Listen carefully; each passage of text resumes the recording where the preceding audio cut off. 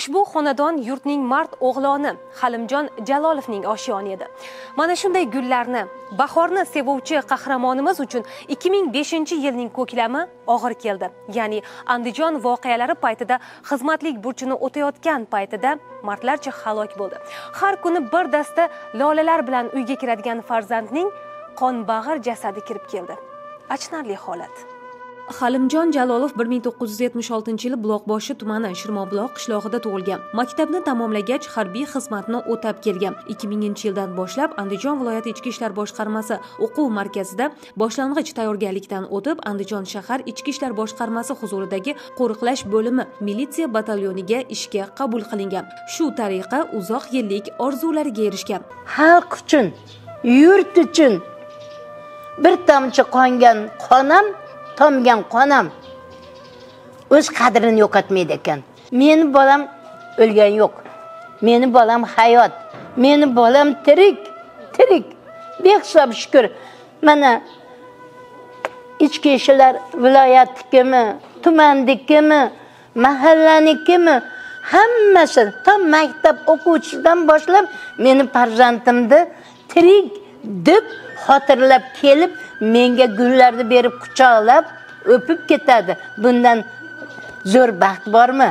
Bunday yakun topgan taqdir bir emas. Xususan andijon viloyati ichki ishlar boshqarmasi jinoyat qidiruv va terrorizmga qarshi kurashish bo'limi katta tezkor vakili sifatida faoliyat olib borgan podpolkovnik muzaffar rustamov ham 13 may voqealari paytida mardlarcha jonini fido qilgan. Men 2005 yil andijonda xunrezliklar sodir bo'lganda qahramonlarcha halok bo'lgan podpolkovnik rustam muzaffarjonni dadasi tursunboyman. Ichki ishlar sohasida ishlab mardlarcha halok bo'lgan o'g'limdan men shu kungacha faxrlanib yashayapman. Xalq uchun vatan uchun jonini fido qilgan insonlar jannatiy insonlar bo'ladi degan iboralar bor. Mana shu o'g'limizni jasorati hech qachon vatanimiz xalqimiz qalbidan o'chmayapti. Qanaqa tadbir bo'lishidan qat'iy nazar bizni hurmat qilib to'rlarga o'tkazib mana shu o'g'limizni jasoratini eslab doimiy ravishda bizni hurmat qilib kelyapti. Vatan uchun jon fido qilgan insonlar ular mangu barhayot insonlar hisoblanadi. Mana uni farzandlari qoldi ikkita farzandi bitta kichkina qizi ichki ishlar vazirligi akademiyasini tugatib hozir toshkent tergov boshqarmasida tergovchi vazifasida ishlayapti. Bitta qizi prezidentimizni farmoniga asosan imtiyozli ravishda moliya institutiga o'qishga kirib o'qiyapti. Imtiyozlar shunaqa bo'lyaptiki mana ikki ming o'n to'qqizinchi yilda prezidentni alohida qarori chiqdi. qirq ikki o'n ikkinchi sonli qarori chiqdi. Bu mana shu o'z xizmat vazifasini o'tash chog'ida halok bo'lgan xodimlarni oila a'zolarini ijtimoiy qo'llab quvvatlash haqida. Mana biz har yili bir marta bepul sanatoriyalarga borib dam olib kelyapti. Juda katta sog'lomlashtirish maskanlariga borib sog'lig'imizni tiklab kelyapmiz. Yaqinda o'n uchinchi mart kuni prezidentimiz juda katta farmonga qo'l qo'ydilar. U farmonda oldingi qarorga qaraganda ikki baravar uch baravar ko'p yana imtiyozlar beryapti. Aytaylik sanatoriyaga boradigan bo'lsak o'zimizni yanimizdan yo'lkira qilib borardik. Endi hozir bir yilda ikki marta samolyotda xohlasa yoki poyezdda bepul borib kelish imtiyozini beryapti. Bu sog'lomlashtirish maskanlarida bepul foydalanish dori darmonlardan bepul foydalanish aravachalar kerak bo'ladigan bo'lsa boshqa imtiyozlarni ham bizga juda keng miqdorda belgilab berdi prezidentimiz. Nabijon davronov esa bir ming to'qqiz yuz oltmish to'rtinchi yili izboskan tumanining lo'g'inbek qishlog'ida tug'ilgan. Andijon shahar ichki ishlar boshqarmasi yong'in xavfsizlik bo'limi birinchi harbiylashtirilgan yong'in xavfsizligi otryadi inspektori sifatida faoliyat olib borgan. Andijon tarixidagi qora kun uni ham oramizdan olib ketdi.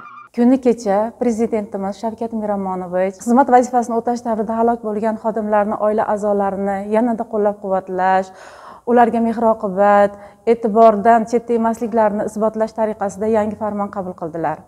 Bu farmonga asosan biz doimiy prezidentimizni e'tiborda ekanliklarimiz nazarda tutilgan. ikki ming beshinchi yil bilan hozirgi davrda o'rtasida o'n sakkiz yil muddat o'tgan bo'lsada shu davr mobaynida e, yurtboshimiz ichki ishlar xodimlari rahbariyatlari xodimlari doim e'tiborlarda bo'ldik. Qanday tadbirlar bo'ladimi? Yig'ilishlar bo'ladimi? Doimiy bizni birinchi qatorda birinchi o'rinda bizni taklif qilinib doim hamma yaxshi kunlari biz bilan birgalikda o'tdi. Yurtboshimiz chiqargan qarorlarga binoan ikki ming yigirma ikkinchi yili meni farzandim rasulov oybekjon nabijon o'g'li ichki ishlar akademiyasini bitirib kelib izbaskan tuman ichki ishlar bo'limiga profilaktika inspektori lavozimiga tayinlandi.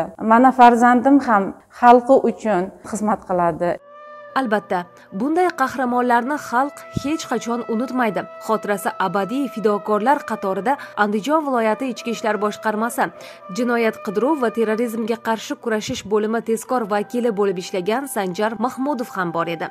Hozirda uning davomchisi sifatida yolg'iz o'g'li ushbu tizimda faoliyat yuritmoqda. E, andijon viloyati ichki ishlar boshqarmasi huzuridagi tergov boshqarmasi katta tergovchisi katta leytenant hamzayev shohjahon sanjarbek o'g'li bo'laman.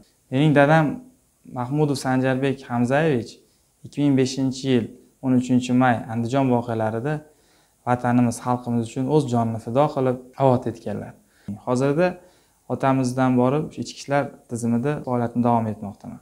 Kuni kecha muhtaram prezidentimiz tomonidan vatan himoyasi yo'lida xizmat vaqtida halok bo'lgan xodimlarning oila a'zolariga yanada ko'proq imtiyozlar belgilab berildi. Biz bundan e, yanada jo'shqinlanib yanada kuch olib vatanimga va prezidentimga sadoqat bilan xizmat qilishga va'da beraman. Bunday qahramonlarning qabri ham qadri ham qalbimizda.